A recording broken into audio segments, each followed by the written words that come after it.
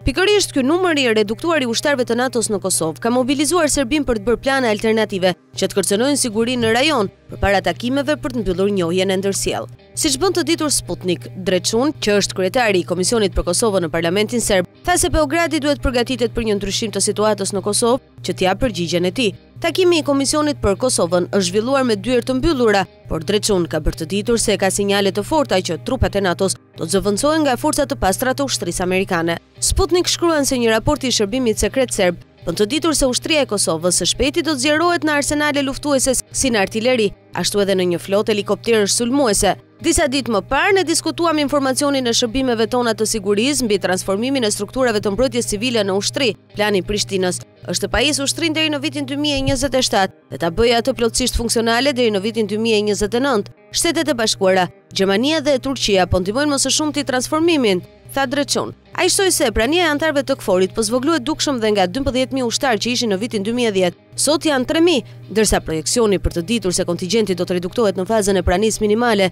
të 2.500 ushtarëve. Forcat e sigurisë së Kosovës aktualisht kanë 3.517 anëtarë aktivë, në të cilët 30% e pakicave janë të pranishëm, për fat të keq ka edhe serbë. Selia kryesore dhe 4 komandat u formuan në vitin 2019 dhe kjo është e gjitha struktura e një ushtrie, deklaroi Dreçun, i cili shtoi se ambicia e vjetër e Prishtinës është të formojë një njësi helikopterësh e cila aktualisht ekziston vetëm në letër, por shtoi se pilotët janë trajnuar në Turqi. Aftësia operacionale e departamenteve të helikopterëve duhet të arrihet në vitin 2023, ndoshta me ndihmën e Shteteve të Bashkuara duke blerë helikopterë të përdorur, tha për Sputnik kreu i Komisionit për Kosovën në Parlamentin serb, duke zbuluar raportin e shërbimeve sekrete serbe. Së shpejti pritet që qeveria e Serbisë të bëjë një dokument zyrtar që të bllokojë zgjerimin e mëtejshëm të ushtrisë kosovare, siç bën të ditur Sputnik. Beogradi do të insistojë që asnjë formacion ushtarak përveç KFOR-it nuk duhet të jetë i pranishëm në Kosovë, çka tregon qartë se do të kërkohet që të mos ketë as trupa amerikane, të cilët zotërojnë bazën më të madhe ushtarake në Ballkan, Bondsteel. Parlamenti serb i ka dërguar Moskës një kërkesë që kjo e fundit në OKB,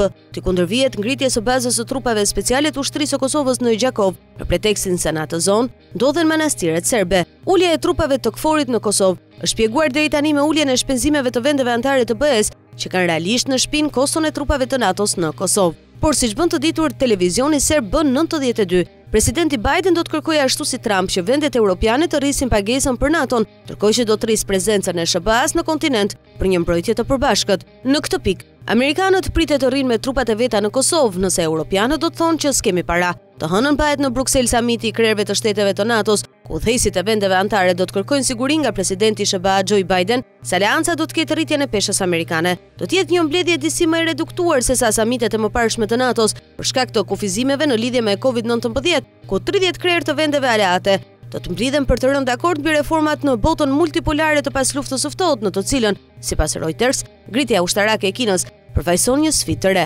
Gjëja e parë për Biden është të ristartojë mbrojtjen kolektive e NATO-s, tha ish-zyrtari i lartë i kësaj organizate, Jamie Shea, i cili ishte në samitin 2018 në të cilin Trump foli për një lloj tërheqjeje të Shteteve të Bashkuara nga ajo aleancë. Ajo që ndodhi tregoi se sa delikate është situata nëse SHBA-t mund t'i kthejë shpinën aleancës, tha Shea, i cili tani është anëtar i think tank-ut Miqtë e Europës. Ndërsa Biden pritet të dërgojë një mesazh tradicional amerikan se aleatët evropianë duhet të paguajnë më shumë për sigurinë e tyre, NATO, sipas Reuters, do të përpiqet të shkojë edhe më larg nga agjenda e politikës së jashtme të Trump, Amerika e para. Ky samit me Biden duhet të jetë një sinjal për botën që NATO është kthyer. Kishte kaq shumë zhurmë dhe ishte një kohë e vështirë, por tani ne në fakt mund të flasim për gjëra që kanë rëndësi, duke përcaktuar sfidat e sigurisë në kohën tonë, tha një diplomat i vjetër evropian në NATO. Rusia, ndryshimi i klimës, Afganistani dhe teknologjitë e reja do të jenë në agjendën e samitit njëditor i cili do të kulmojë me një sesion të posaçëm të liderëve.